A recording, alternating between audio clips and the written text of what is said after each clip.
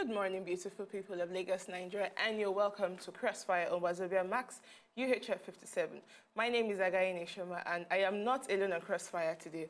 Although Dapo Banjo is unavoidably absent as he has some national and official matters to attend to, but I'm being joined in the studio by Ajibike Ogunlade. Ajibike. You're welcome. Good morning, Ishima. Good morning, Lagos. It's an amazing opportunity to be here once again, you know, to talk about politics and, you know, everything that's happening in the country. So thank you so much, Ishima, for having me on the show this morning. Amazing. And you know, on Crossfire, it's our policy, and we believe in the sanctity of Nigeria. We believe in the progress and development of Nigeria. And everything we do here is for you, to keep you informed, to keep you entertained, but most importantly, also to revive the Nigerian spirit. So, Jibike, who do we have in Crossfire today? Okay, so today we have a very, very amazing person with us in the studio. Yes, he is the APC chieftain in Ondo State, um, or Ondo chapter, sorry, and then he is a security and social media consultant, and also he is the national chairman of the Association of Telematics Operators of Nigeria. Lagos, please welcome me, um, join me in welcoming Otunba Olugbemi Oyeneyi this morning. Good morning, sir. You're welcome you. to Crossfire. Thank welcome you. Thank to you for having me this I hope it wasn't difficult getting into the studios because we had some challenges yesterday as regards traffic situation in Lagos. I hope it was mm -hmm. fair. Today is better, at least. yeah. it's, it's, but I believe it, it has to do with the heavy rain, uh, downpour, yeah. and then because so many people are also preparing for Salah holiday, so, so many people mm. are on the road. Amazing. Okay, so today being Friday, we'll be going into, we'll be looking, taking a look at some of the stories that made around during the week. Although we may not be able to take all, but we'll take some of the crucial stories. It's Feedback Friday. Now, one of them on our list is the forthcoming elections in Ondo State. Well, INEC has given the date for the elections, which will hold on November 28, 2016. A lot of people are jeering, a lot of people are asking, how prepared is the APC, how prepared is the PDP, irrespective of the fact that, yes, we're having situation reports that it seems the PDP in Ondo State currently are in, we're having some issues as to who should represent the PDP, who should be the official flag bearer of the PDP in the gubernatorial elections. Now, on Saturday, last week Saturday, the APC held their primaries, and there's been a lot of issues. Now, mm -hmm. from reports we were able to gather, now hundreds of party supporters and residents in Ikare, Akoko, took to the streets to protest. And what were they protesting about, basically? The emergence of Mr. Rotimi Akeredolu as the APC's flag bearer. For a lot of people, they believe Mr. Segun Abraham should have been the person to represent the APC. Sir, what do you, how do you see all this play out? I mean, at the end of the day, it's the people who will cast their vote. Yeah. So all of these, I mean, isn't it having a negative omen for the APC? Well, um, as we all know, politics um, ha has a lot of um, aspects. It, it, it, has a lot of uh, dimension. It has a lot of metrics to it. And uh, Ondo State is, is very peculiar.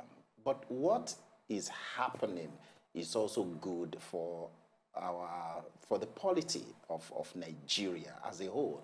It's also very good for the dem, uh, the democratic process that we're going through. Now, um, whether you like it or not, initially it was said that oh somebody was being you know uh, imposed or whatever. But with what happened on Saturday, it was clear that there wasn't any you know form of imposition because, I mean, delegates, I was there live on the ground, and uh, number one, the election took place so peacefully. Mm -hmm. There wasn't any form of, you know, um, rowdiness or thuggery, or, I mean, it, it was so amazing. And it also, it showed the maturity of you know the voters the the the, the citizens as well that hey we are maturing and politics is not a do or die affair, mm -hmm. you know, and the result also amazed everybody. And it was clear that, hey, um, democracy has come to stay and that the vote of the people actually counts this time around. So there is no um, game or any, you know, uh, antics being you know, or no form of maneuvering. And uh, for me, um, I just believe um, it's a process and it is getting better.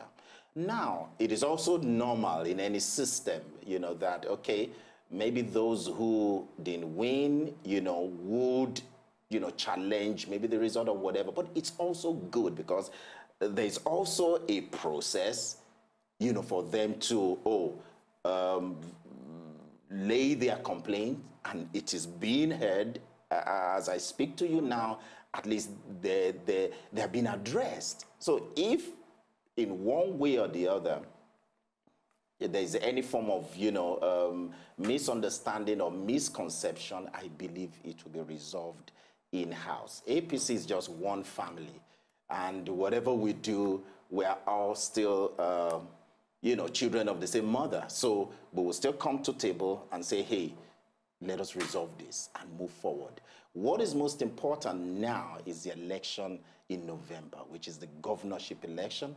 And that is why everybody, you know, must just put aside whatever issues now, let us face November 26th. Um, and then before we get to November 26th, you know, you said something that you were there live and direct during the election process, and then everything went, you know, peaceful.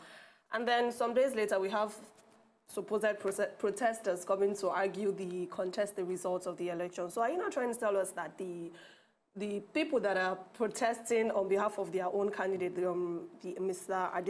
Adesoya, right? I got it right. No. Um, are they are they like not APC people or they are the Togri part of APC people or because you also said that you know it's a family and then everything is happening you know even though you have um, issues within a family you can there's a way to sort it out. So I'm just trying to say, like, if it's a family, then why are some people still coming to fight for... To challenge the election. Yeah, fight for well, their own candidate. you also know that even um, in our own nucleus family, there will always be disagreements. It, it's also normal. It's part of, you know, life that even in in a school, even in a class, that somebody comes first, you can be sure that, hey, maybe somebody, you know, also feels that, hey, I, I should have scored more than this.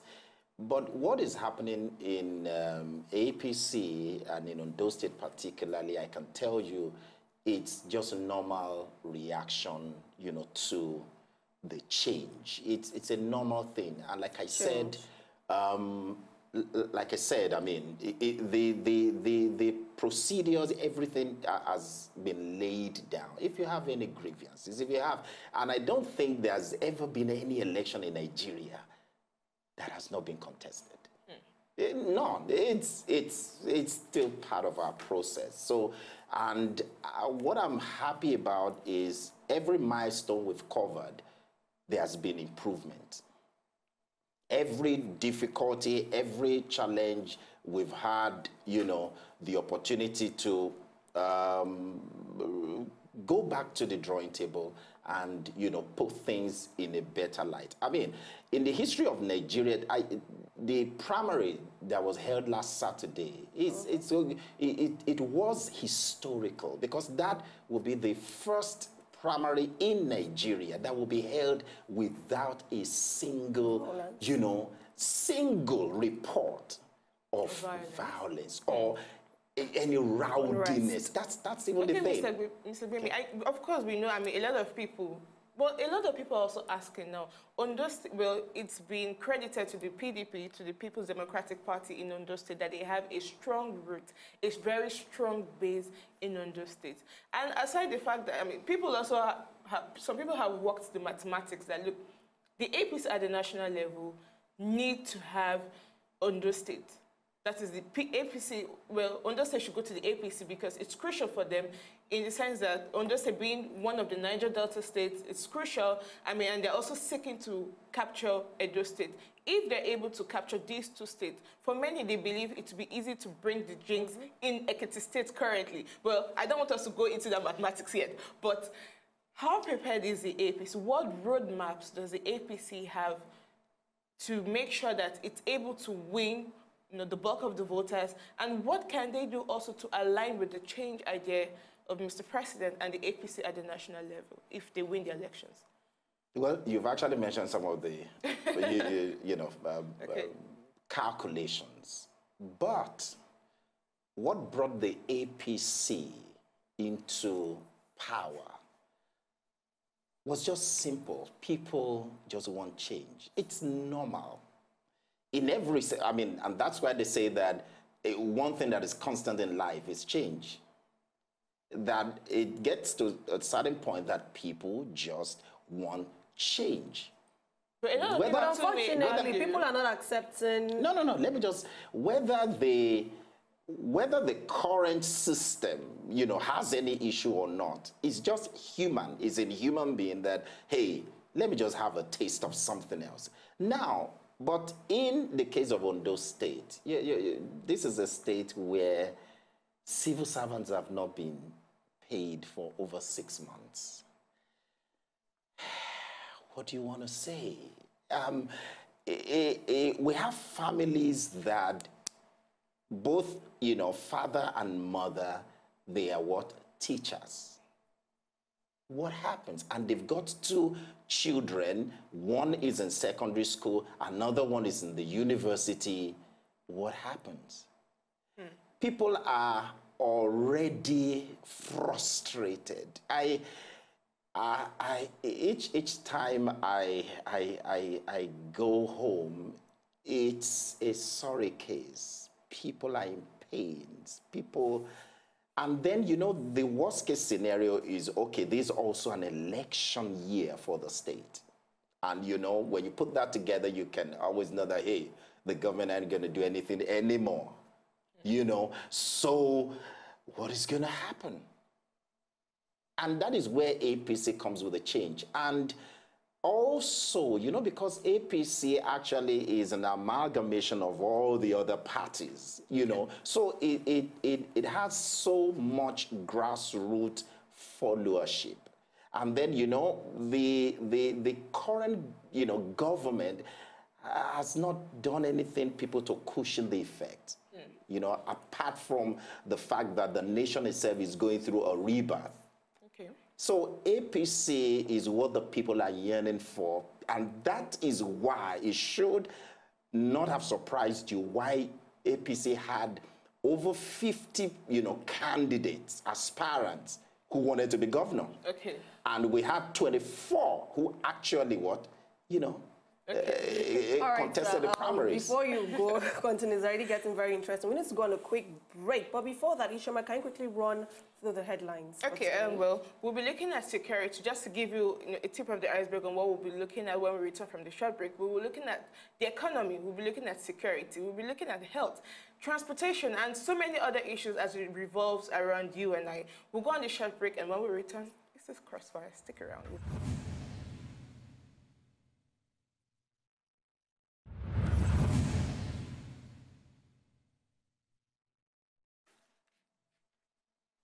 You're welcome back, and this is the Crossfire with Ishama and Jubike.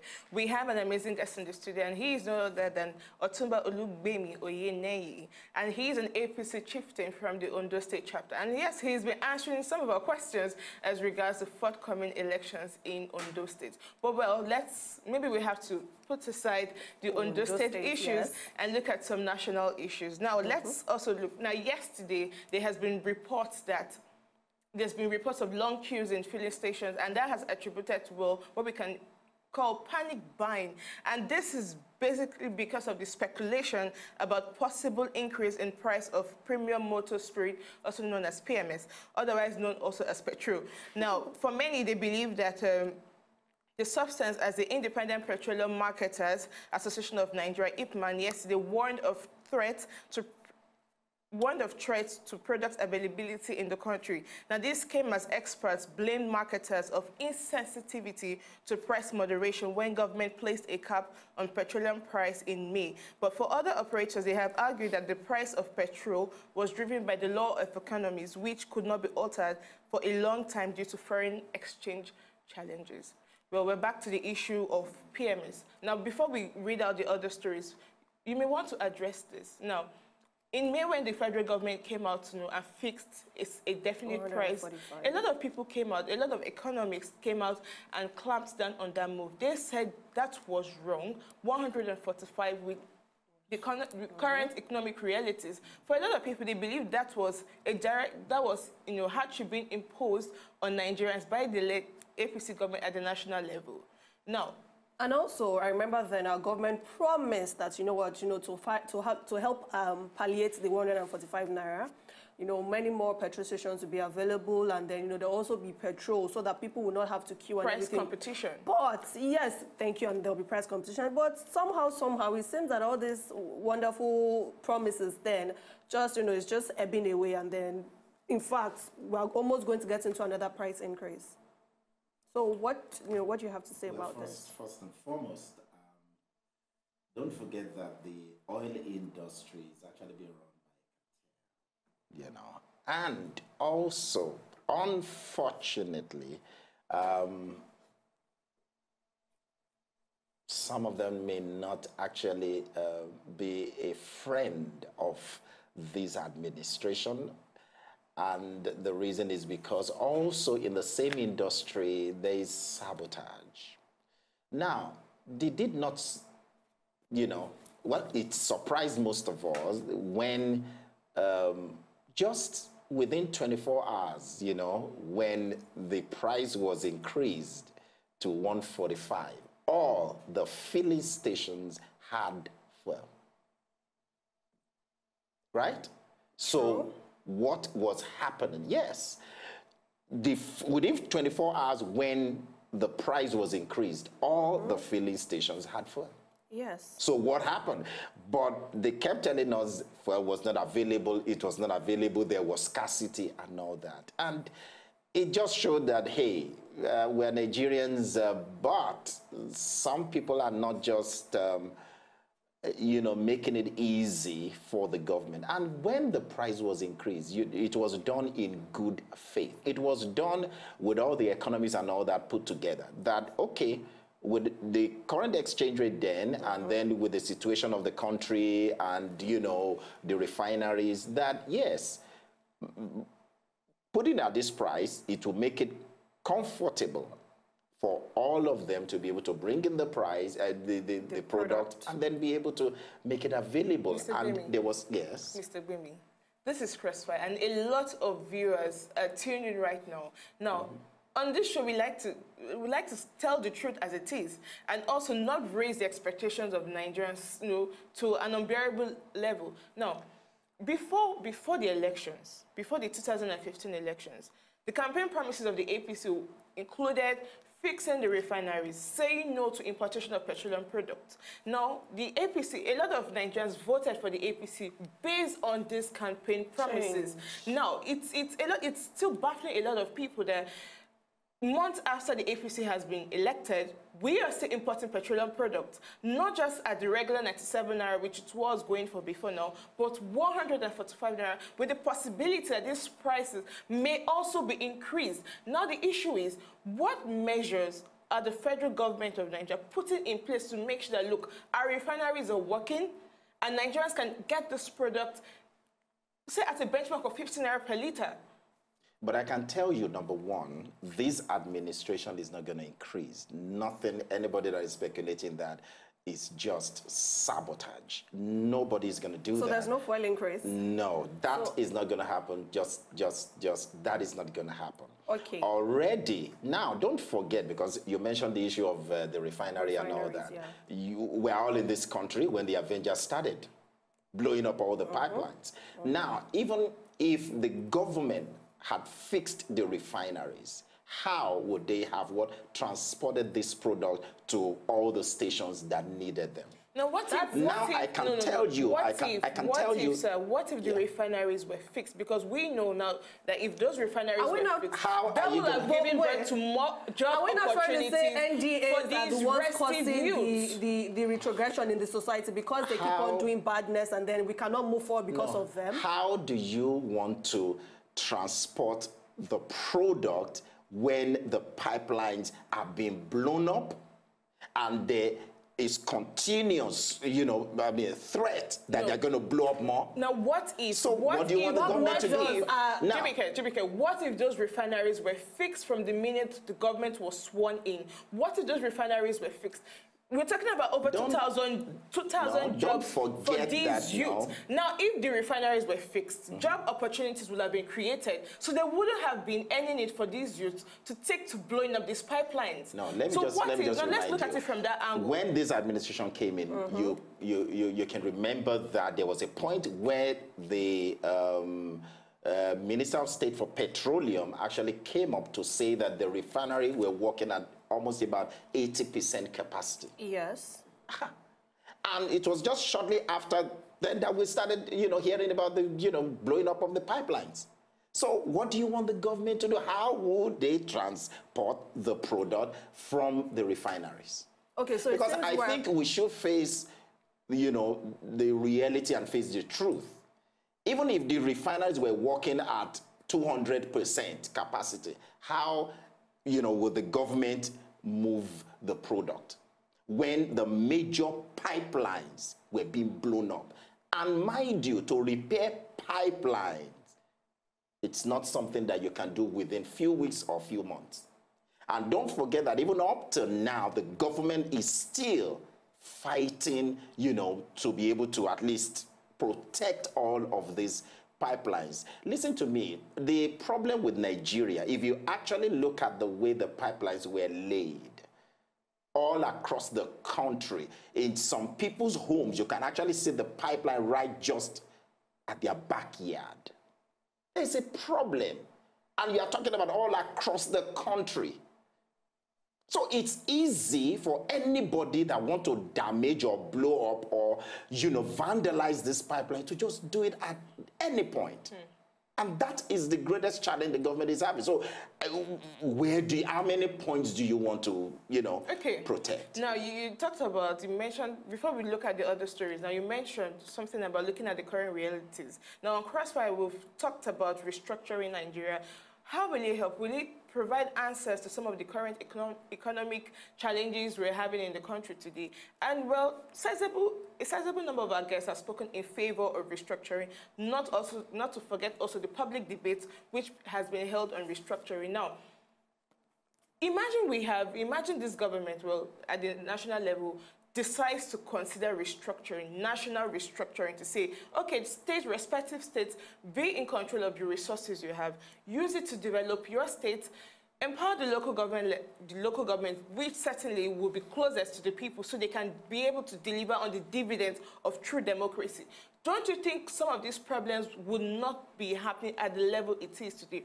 Let us not forget that before the, the, you know, the, the birth of the APC, the ACN as a political party, even down to the AD, they all talked about restructuring Nigeria. So how come the APC is at the helm of affairs and it seems that they're not giving credence to some of these brilliant ideas which can, which can help change the country? Okay, before we um, before he answers the question, please, we have a caller from Okay. Victor, good morning.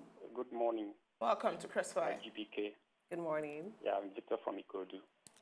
Please Yeah, go ahead. please, I just want to uh, tell that uh, your guest, Otunba you, you can see, Olugbemi. the man is not just being sincere to himself. Yeah. Because if you, all this blame game, all this blame game, the pipelines are being blown up, this and that, it will not help the masses. It doesn't help us at all. So the man should be sincere because these people, are, this APC government, I don't really know. They don't even get their act together. You know, a good lead, leader looks for solutions to problems and not to apportion blames. Are you with me?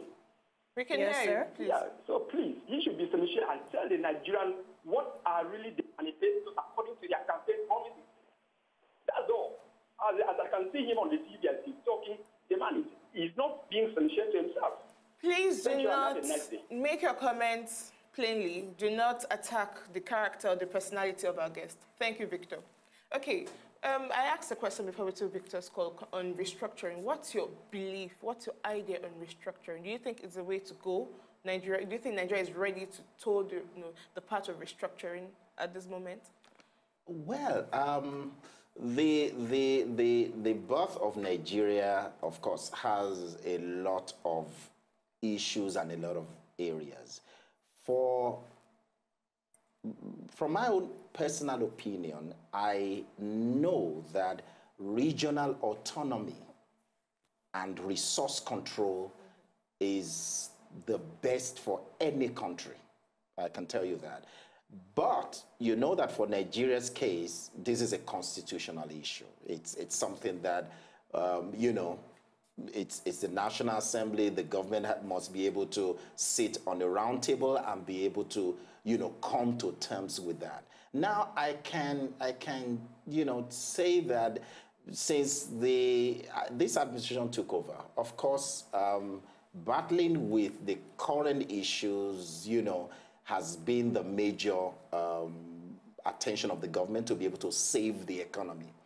I believe that once that is achieved, definitely the government is going to sit down to look at these areas. like so, you rightly um, said. Before you continue, please, we need to go on a quick, quick break. Um, okay. Of course, when we come back, Crossfire and Mr. Olugbemi is still very much in the studio, and then we'll continue with all the discussions we have.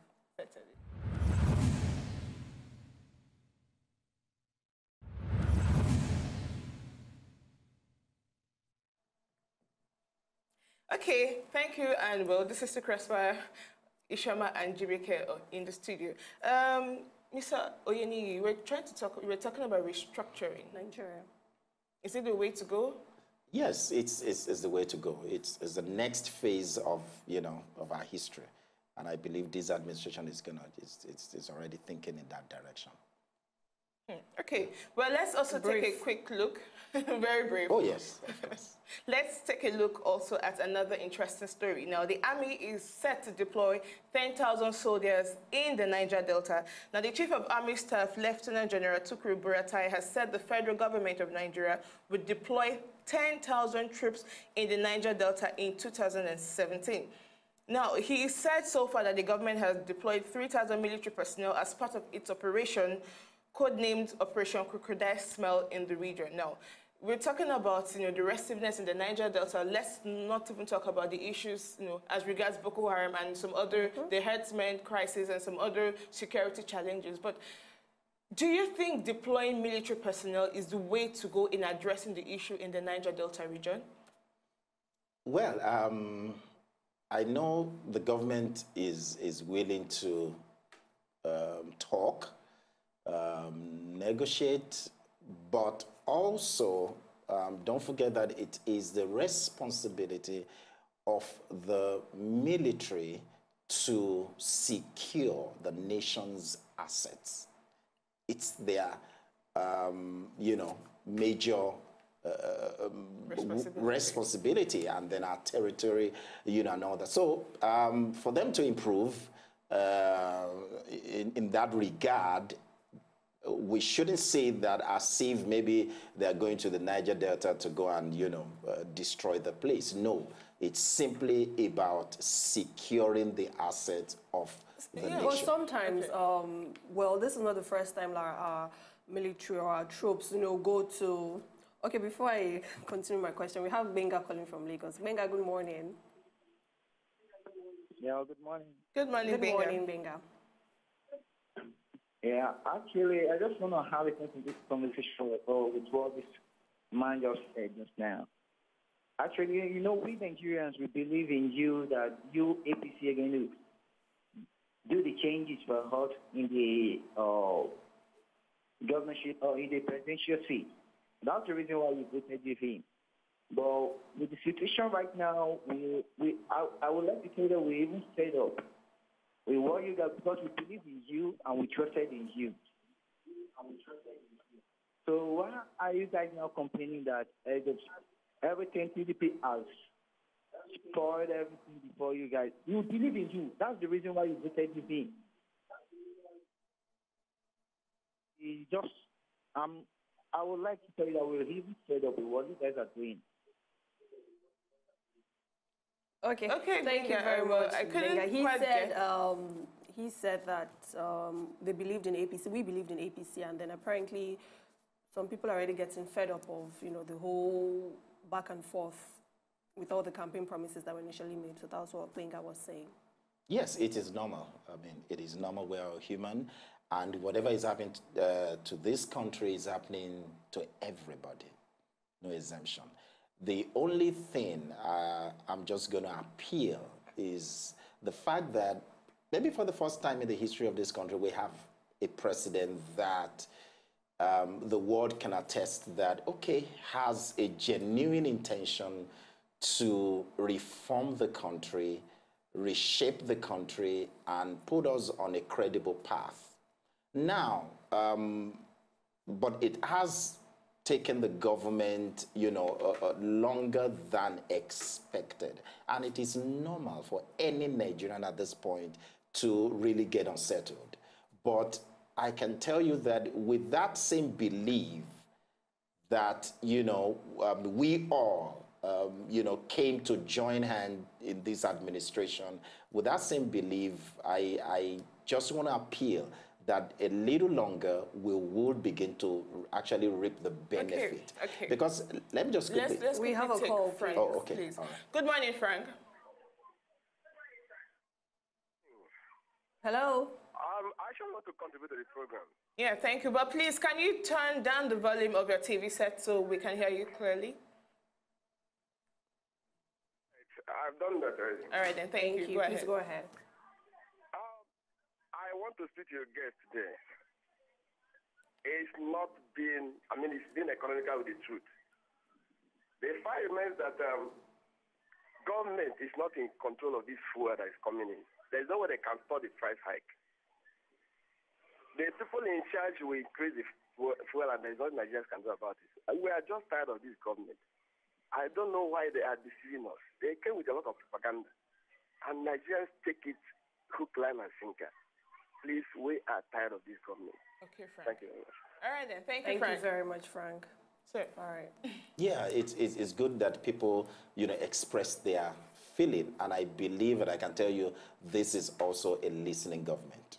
And I can tell you that the government is doing everything in its capacity and in its uh, wisdom to really put things um, into shape. I'm not going to um, come here to, I'm not speaking for government, I'm, I'm here in my capacity. And, but I, I, like I said, it's just to appeal that uh, we, for the first time, we have a government or a president that, you know, um, we believe in and uh, we believe is listening and doing everything possible to be able to, you know, put an end to this. But uh, like I said, um, in terms of the fuel hike thing, I mean, that is speculative. Okay, no, well, the government We you've said. a Oh, caller from all right then. Surulere. I apologize. Hello, David. Good morning. Good morning. Welcome Good to morning. Press Five. Uh, good morning, sister, and our brother, and our brother on, on the street. My question is this: uh, I just want to ask if truly we are sincere to ourselves as a people, as a one unit, um, uh, a nation in this world. We have heard where the S-men are killing people in different states, and uh, we heard that uh, uh, federal government are sending troops of army to Niger Delta. What about people of Enugu? What about people of uh, um, State? These are human beings dying daily. What kind of sincerity can we prove as a leader? And yesterday we heard that yeah, we heard that uh, change from change starts from me. What kind of change? But the Bible, uh, in the Bible, in the beginning, the God changed the darkness. He's the the first. He is the leader. Okay, There's David. uh, another thing that when when uh, God is blaming uh, the leader in uh, Israel, he blamed Moses. He didn't blame the people that caused Moses to to sin. All right, David. You know, when the head is rotting, what can the body do? Thank you very much, David, for your contribution. Okay, oh, now let's take a look at another story. Probably this may bring some level of succor and joy to our audience. Now, the federal government of Nigeria has okayed loans from the World Bank, China, and Japan. Now, the federal government came out to inform Nigerians that it has approved plans for external loans from the World Bank, Japan, and China. It specifically said Nigeria will take loans from institutions such as the World Bank, African Development Bank, Japan International Cooperation Agency, and Export-Import Bank of China, Bloomberg report, as was reported on Thursday by Bloomberg. Now, this will include low-cost and long-term loans with interest rates at 1.25% and a maturity period of 20 years. Now, the federal government also said that details of a proposed Eurobond was due later this year and will be announced in due course. Now, according to the presidency, the government is now waiting for lawmakers to approve its plan. Certainly, a lot of Nigerians, I mean, this is a sign of good things to come, particularly for the economy, as you know. But now, a lot of Nigerians also, popular opinion has it that why should the government of Nigeria go ahead to borrow when we have, when the government has, you know, talk, made mentions of amounts of money saved, you know, from mm. the removal mm -hmm. of subsidy, made savings from the TSA, from the use of the TSA, the Treasury single account, mm -hmm. savings also, uh, recovered loot also. Yeah. So the people are wondering, why do we need to borrow again when the government can fix certain laws and mop up these funds from some of these other you know, avenues? I mean, can you explain why? It's, it's, it's all uh, part of government policy. Number one, um, you find that whatever is being saved, you know, mm -hmm. uh, through the TSA and whatever is being recovered, is not enough to save our situation. Let me just tell you, the first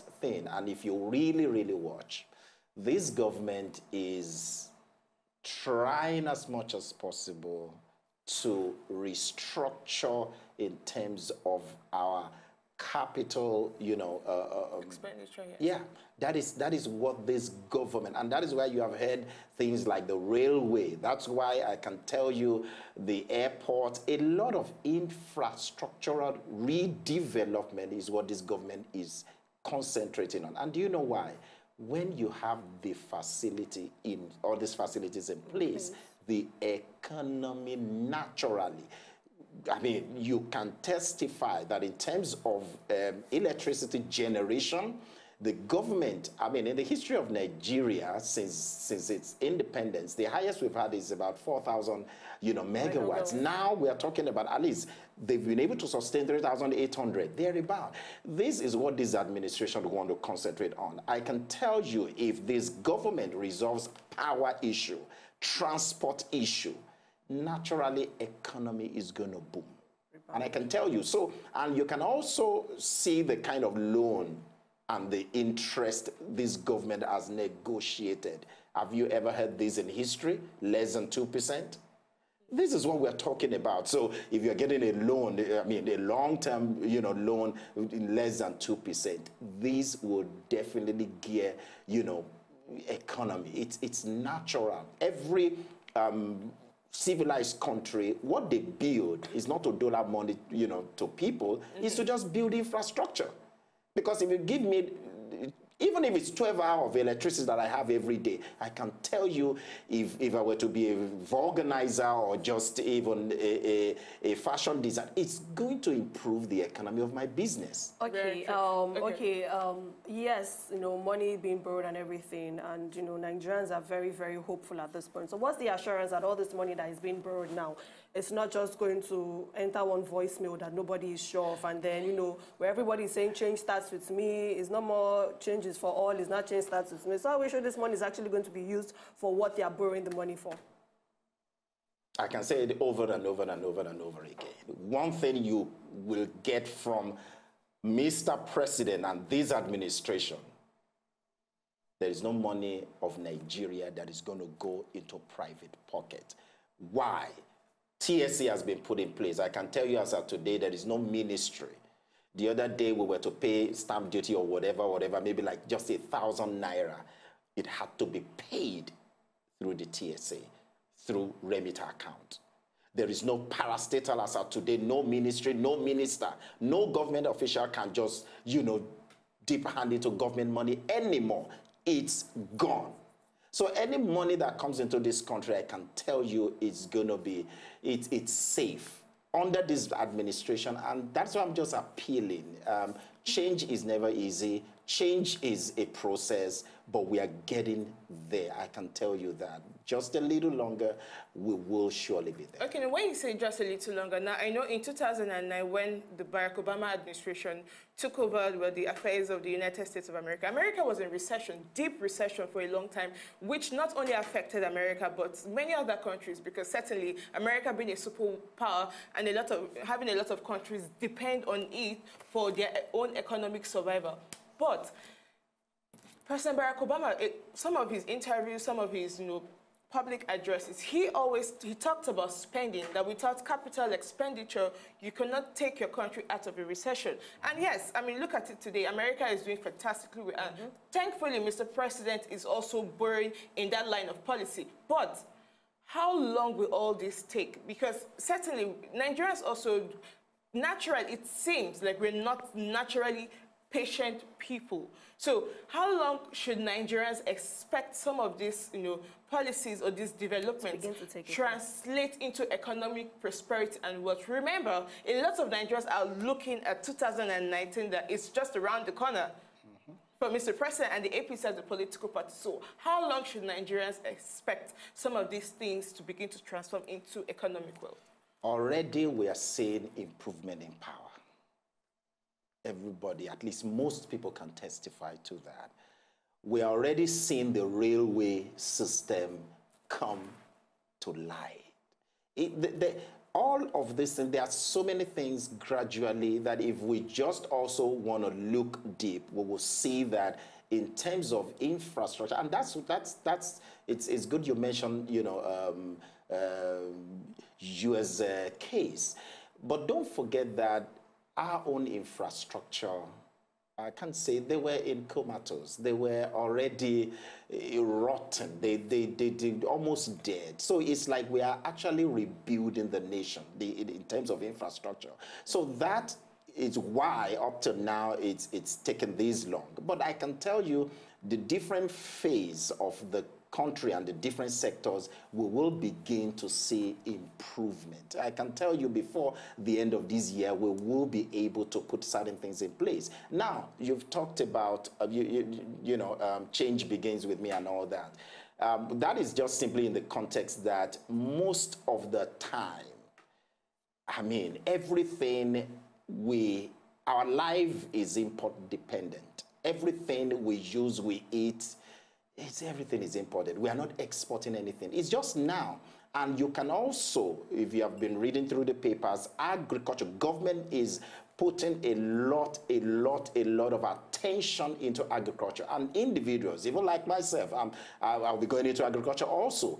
It, it, because whether we like it or not, we need to change our perspective. And that's what the president actually talks about. The change begins with you. If we don't change our lifestyle, if we don't change our thinking, it's, it's not going to help the nation. Because if all we do is to look for dollar to import things, what are we now exporting to end the dollar? The oil that brings the money is now half. What is going to happen? So naturally, it's going to affect. But agriculture, you know that most of us left agriculture. And now we must go back. Thankfully, most of the states have started. I can tell you now they are advertising local rice at 8,000, 9,000 naira, while imported is about 20,000. So it's only a matter of time for people to begin to, oh, excuse me, well, I think I better go for a local rice. Which is healthier. Ah, which is healthier. And whether you like it or not, the, the, the farmers are going to improve. Now they are going to begin to do a lot of refining themselves and, you know, so it will improve and we're already seeing. Talking about agriculture, just let me just take like a quick, you know, take us back a bit. Talking about agriculture, you're talking farmers are going to, you know, improve in what they are doing and everything. Now, some of these farmers, farmers who need, you know, um, to uh, get loans, you know, to buy all these heavy yeah. equipment and everything. How accessible are they, um, is the government to them when it comes to this, um, to this aspect? And then sustainability. If the government says, okay, you know what, if you're a farmer, you know, intending farmer, you want to go into full-time agriculture, we have this loan for you.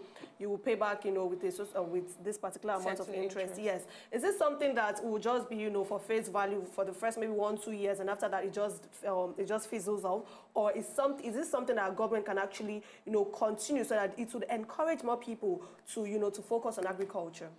Number one, you have a president who is a farmer. Two, you have a Minister of Agriculture who is also into full-time mechanized farming. What else are you going to get in this administration? It's, it's nothing. So you already have two people who are into full-time agriculture. No, but, but the stakes, and the stakes, it's just no, normal. No, no, no. The stakes Just- may just be different. No, the stakes ju- may be just- different for them. No, just hold on. Now, Okay. the states have realized that they can only improve their IGR through agriculture. And that is why most of the states now that are serious are going into mechanized farming. Because with agriculture, you will, you, will, you can earn enough to run your state. With agriculture, you can export. With agriculture, you can, I, I mean, and that is the reorientation that we need. That let us forget about this oil thing. Somebody was saying the oil will finish one day. So what is going to happen? And I think the only lesson we can take from the recession that we are in is that let us go back to agriculture. Nigeria was built on, you know, agriculture. I mean, we had the the the the cocoa stuff. We had the the groundnut uh, pyramid. We've got the palm oil and all that. So why did we leave all that? So in other words, you're saying the government is ready to support people that are ready to go into full-time Definitely a whole lot of you know scheme and programs and banks are already being you know. And the um, interest rates are not going to choke people.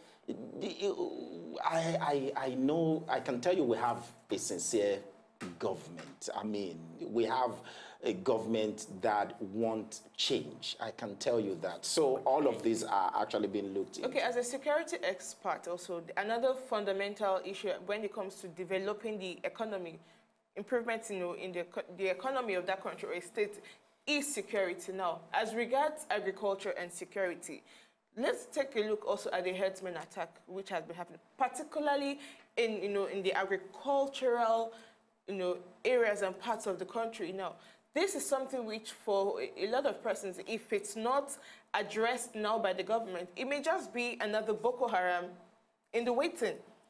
Security and agriculture.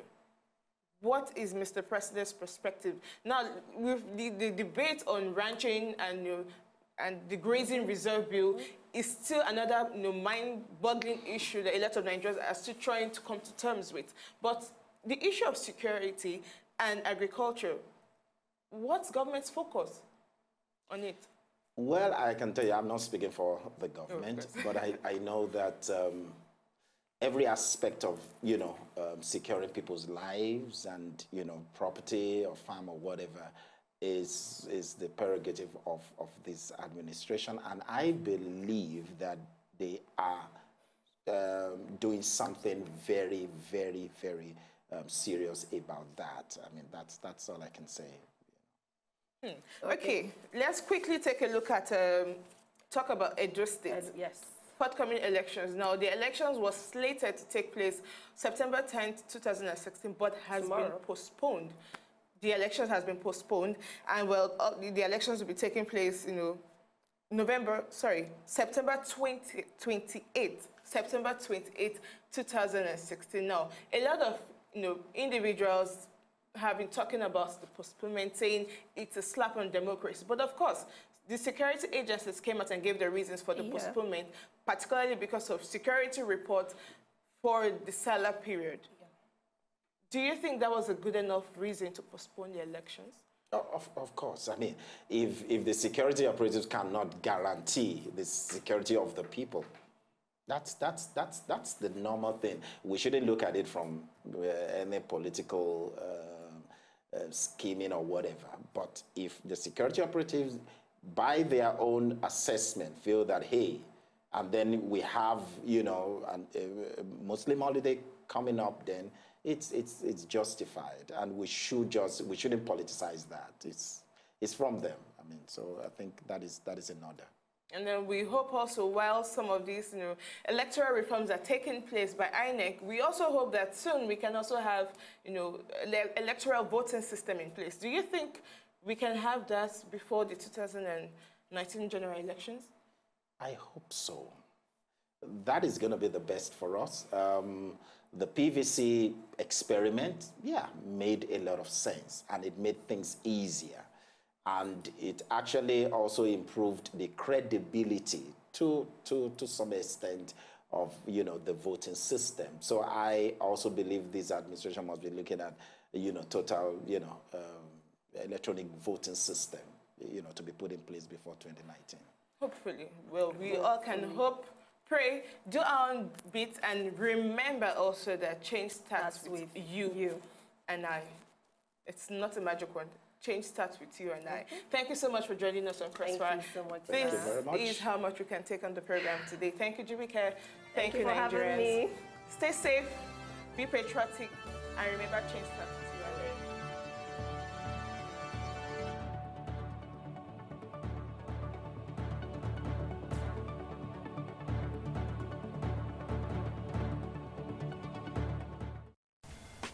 To enjoy more of these our ogbonge videos when you just watch, press this button to subscribe on top of our YouTube page. You go love am.